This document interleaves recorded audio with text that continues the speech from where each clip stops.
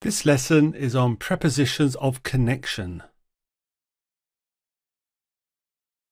Prepositions of connection describe possession, relationships, or accompaniment. And these prepositions of connection are of, to, and with. We use of to describe relationships and possession. Are you the sister of Ian? In other words, are you Ian's sister? London is the capital city of England. When we use of for possession, we often use a possessive pronoun. So Tim is a good friend of mine. Not of me, but of mine. Bill is on the same team as Peter. So Bill is a teammate of his.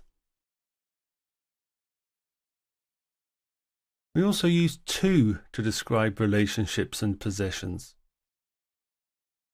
Stephen was like a brother to me. That old house used to belong to my aunt.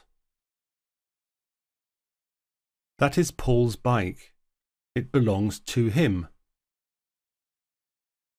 This is Lizzie's doll. It belongs to her.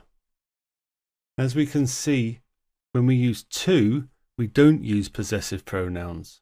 So say it belongs to him, but it is a bike of his, as we saw in the previous slide.